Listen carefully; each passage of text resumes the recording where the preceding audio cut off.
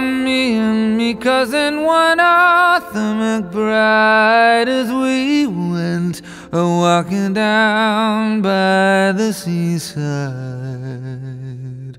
Now mark what followed and what did betide, for it being on Christmas morning. Now for recreation we went on a tramp, and we met Sergeant Napper and Corporal Vamp, and a little wee drummer intending to camp for the day being pleasant and charming.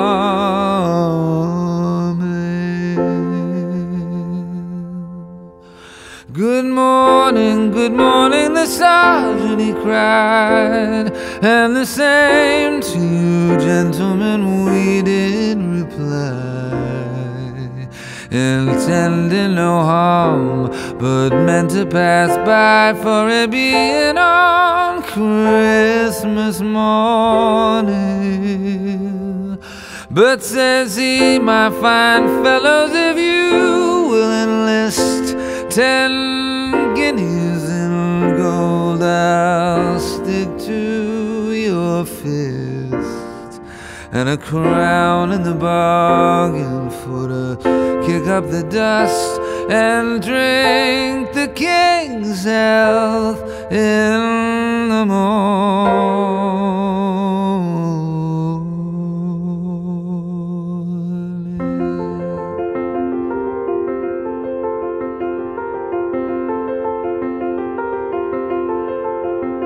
For a soldier, he leads a very fine life, and he always is blessed with a charming young wife, and he pays all his debts without sorrow or strife, and he always lives pleasant and charming.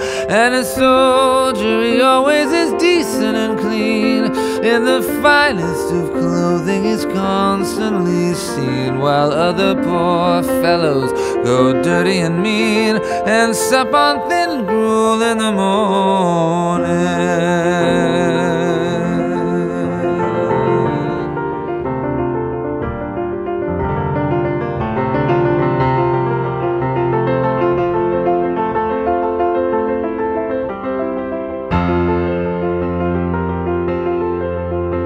But says Arthur, I wouldn't be proud to be clothes, for you've only the lend of them, as I suppose. But you dare not change them one night, for you know, if you do, you'll be flogged in the morning. And although that we were single and free, we take great delight in our own company. We have no desire, strange places to see, although that your offers a charm. And we have no desire to take your advance. All hazards and dangers we barter on chance. For you to have no scruples for to send us to France, where we would get shot without warning. Oh no, says the sergeant, I'll have no such chat, and neither will I take it from snappy young brats. For if you insult me with one other word, I'll cut off your heads in the morning. And Arthur and I, gave them time for to draw their own blades. When a trusty shillelagh came over their heads and bid them take that as fair warning. And their rusty old rapiers that hung by their sides, we flung them as fast as we could in the tide. Now take them, their devils, cried Arthur McBride, and temper their edge in the morning.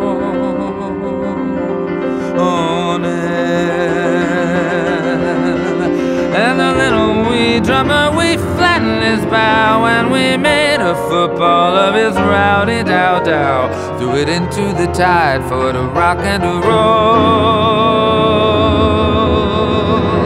And been in a tea just returning.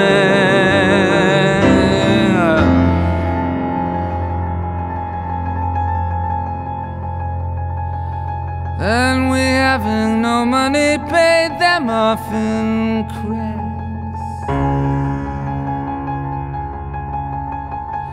We paid no respect to their two bloody backs.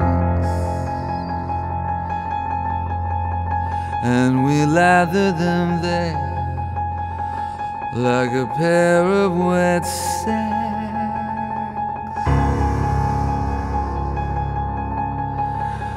and left them for dead the morning.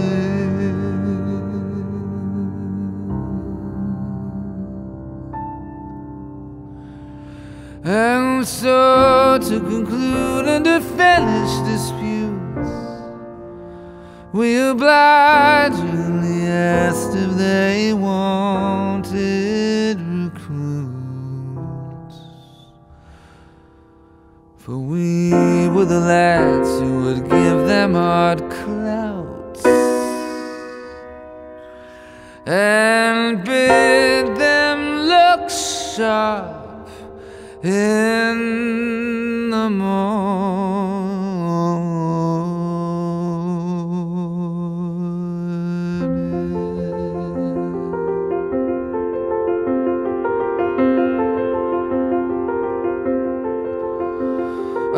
Me and me cousin one Arthur McBride as we went walking down by the seaside.